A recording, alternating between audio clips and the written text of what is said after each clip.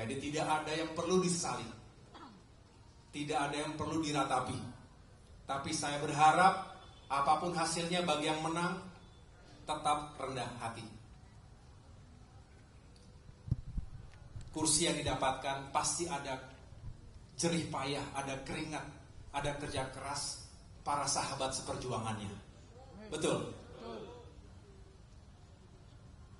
Jangan kemudian lupa bahwa ini adalah perjuangan bersama. Tapi yang belum berhasil juga jangan kecil hati. Setiap kita pernah merasa gagal, pernah kalah. Saya juga pernah mengalami hal seperti itu. Bapak Ibu tidak ada yang sendirian. Kita bareng-bareng, kita sama-sama, kita keluarga besar Partai Demokrat, kita punya masa depan yang insya Allah baik. Setuju? Jadi sekali lagi terima kasih tepuk tangan untuk semuanya.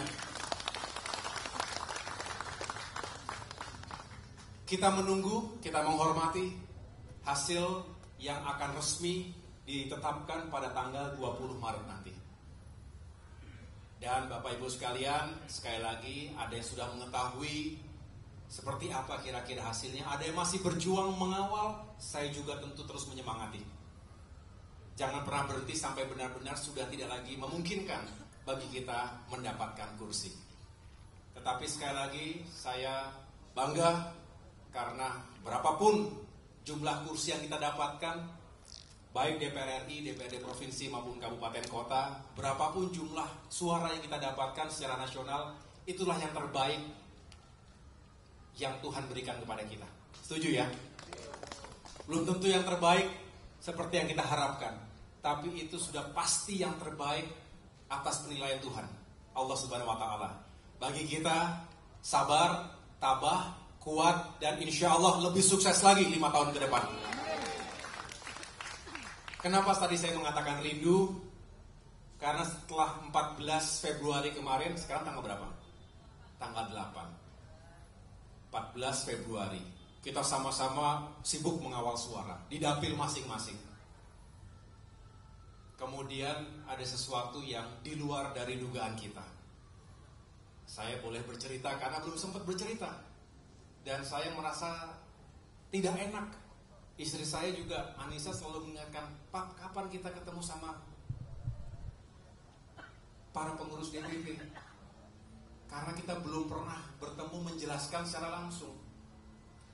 Tapi bukan karena tidak mau atau menunda-nunda karena memang situasinya belum memungkinkan. Dan baru memungkinkan hari ini. Hari Jumat yang insya Allah penuh barokah. Karena saya juga menenggang rasa kalau kita bikin acara sedangkan semua masih mengawal suara di dapil. Rasanya kok kurang bijak nanti datang juga setengah-setengah karena waduh masih kepikiran. Tapi sekarang sudah lebih uh, longgar walaupun tetap kita kawal sampai dengan titik darah penghabisan. Tapi saya mohon waktu sebentar saja karena sekarang sudah 17.26 Bapak Ibu pada tanggal 20 Februari yang lalu saya diundang oleh Bapak Presiden Joko Widodo ke istana dan malam sebelumnya saya dihubungi oleh Bapak Pratik Mensesnek bertanya apakah saya ada di Jakarta dan kemudian saya mengatakan saya ada di Jakarta. Lagi bersama Bang AM dan Bang Andi Arif mengelola tabulasi sambil melihat si rekap telepon satu persatu ke para caleg termasuk tim yang ada di lapangan termasuk Bu Andi Timo yang sedang menggelar war room di DPP sini dengan sistem pemantauan yang juga kita buat dari awal. Tiba-tiba mendapatkan telepon itu dan kemudian tanggal 20 pagi saya datang menghadap beliau dan tentunya uh, beliau menyampaikan secara langsung ketika itu untuk mengajak Partai Demokrat bergabung ke pemerintahan dan memberikan amanah kepada saya sebagai Menteri ATR dan BPN. Sesuatu yang cukup mengejutkan pastinya bagi kader yang masih sibuk mengawal suara karena kita menduga bahwa sampai dengan 20 Maret rasa-rasanya tidak ada dinamika politik yang terjadi di tingkat pusat. Tetapi itulah jalannya, itulah jalan Tuhan dan kemudian ketika ditanya ya saya tentu menjawab kami siap, terima kasih atas kepercayaannya karena dengan demikian Demokrat bisa kembali berperan bersama pemerintah. Inilah yang dari awal kita perjuangkan. Betul Bapak Ibu sekalian? Kita memperjuangkan untuk bisa berperan kembali di pemerintahan. Jadi secara de jure dan de facto hari ini Demokrat sejak tanggal 21 Februari berada di pemerintahan Kabinet Indonesia Maju. Setelah 9 tahun 4 bulan kurang lebih berada di luar pemerintahan. Betul ya? Kita ketika itu berperan sebagai sebuah kekuatan oposisi dan tentunya ketika itu tidak ada pilihan lain bagi kita menjalankan peran seperti itu dan kita juga berperan sebagai oposisi yang baik yang bertanggung jawab yang peduli ingin negaranya baik ingin pemerintahannya juga sukses ingin rakyatnya sejahtera tapi tentu banyak sekali keterbatasan kita sebagai oposisi di luar pemerintahan. Kita hanya bisa menghimbau, kita hanya bisa mengingatkan, kita hanya bisa mengkritisi, tetapi tidak bisa mengeksekusi. Hanya mereka yang berada di lembaga eksekutif yang bisa mengeksekusi kebijakan dan program-program pro rakyat yang sebetulnya selama ini juga Demokrat perjuangkan. Jadi kalau melihat itu semuanya, melihat suka duka jatuh bangun Demokrat 9 tahun 4 bulan terakhir ini, kita harus mensyukuri posisi kita hari ini. Setuju? Kita syukuri sebagai sebuah bentuk amanah yang harus kita pertanggungjawabkan lahir batin. Dan jangan dilihat dari durasinya. Mungkin teman-teman mendengar ada yang ah Demokrat cuma 8 bulan.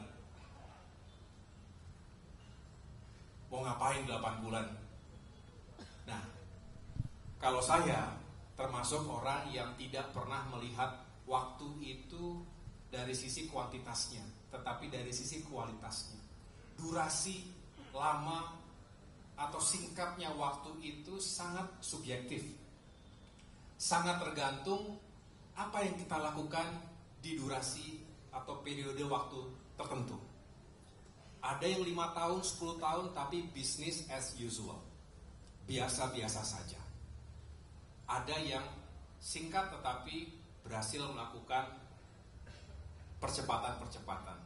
Begitu pula dalam mengelola partai. Jadi insya Allah dan saya berharap teman-teman, Bapak Ibu sekalian bisa membantu menjelaskan kepada masyarakat ataupun kader-kader Demokrat di mana pun berada justru 8 bulan terakhir ini adalah masa-masa yang sangat menentukan. Mengapa? Sejatinya 8 bulan ini atau pasca pemilu itu adalah masa transisi. Betul? Sebuah masa yang penting dan strategis termasuk juga kritis. Mengapa? Kalau pilot biasanya ya saya bukan pilot tapi dari mereka yang tahu bagaimana kritisnya sesaat sebelum landing maupun ketika akan take off. Jadi selalu dianggap sesuatu yang perlu mendapatkan atensi dan dikawal adalah ketika landing dan take off. Nah, seperti estafet kepemimpinan nasional, ada saatnya landing, ada take off kembali. Nah, tugas Demokrat walaupun tadi 8 bulan sama-sama kita kawal agar pemerintahan Presiden Joko Widodo bisa menuntaskan tugas-tugas dan program-programnya bisa soft landing tapi sekaligus mempersiapkan agar take off berikutnya dan lima tahun berikutnya pemerintahan juga semakin sukses. Insya Allah Bapak Prabowo Subianto jika pada saatnya nanti secara resmi telah ditetapkan sebagai Presiden Republik Indonesia lima tahun depan, Demokrat ada di fase-fase yang penting ini. Nah, kemudian ada yang bertanya, mengapa di ATR BPN? Tentu bagi kita, kita bersyukur masuk ke pemerintahan. Dan sebagai seorang prajurit, warga negara yang baik, mendapatkan tugas, misi dari presidennya, harus dijalankan sepenuh hati. Dan hanya ada kata siap. S14B, siap. Begitu, ya. Saya siap menjalankan dan ternyata ini juga baru dua minggu sebetulnya. Jadi saya masih terus belanja masalah, masih terus uh, memetakan apa saja yang menjadi isu sesuai dengan tugas pokok fungsi dan peran dari Kementerian ATR dan BPN, Agraria dan Tata Ruang, Badan Pertanahan Nasional, bukan pertahanan. Agak seribet-seribet kadang-kadang kita. Tadi saya baru menghadiri intermezzo sedikit ada uh, launching dari namanya Indo-Pacific Strategic Intelligence, sebuah think tank di perpustakaan uh, nasional dan saya diminta untuk memberikan sambutan berbicara tentang pertahanan tadi. Nah, saya katakan apa tidak salah undang panitia? Saya ini pertanahan bukan pertahanan. Ternyata tidak, karena mereka melihat saya juga tidak asing dengan isu-isu pertahanan selama ini. 16 tahun di militer juga cukup membekali kita tentang isu-isu tersebut. Nah, Bapak Ibu, teman-teman sekalian, saya kembali mensyukuri ternyata ATR BPN ini luar biasa cakupannya. Ada yang tinggal di atas laut? Ada. Dari mulai lahir